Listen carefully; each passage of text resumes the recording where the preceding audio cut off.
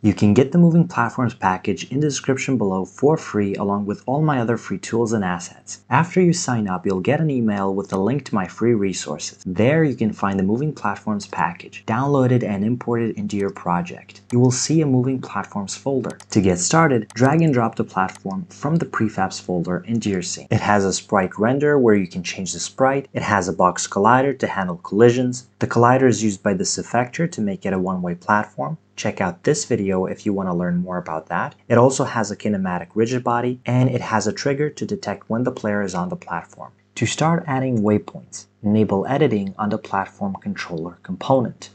When you click, a point will be created. You can insert waypoints in between two points by clicking on the line. If you hold Control and click, you can delete points. You can also drag existing points and reposition them. You can control if the path will be closed or open, and you can control how it will behave, whether it will loop or ping pong. Looping means that when it gets to the last waypoint, it will continue.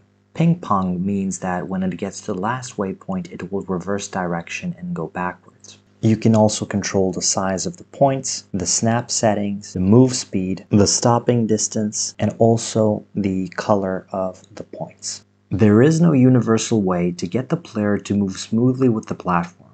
It depends on how your player code is set up. The most common way is to detect when the player enters the platform trigger and set the platform as the parent of the player.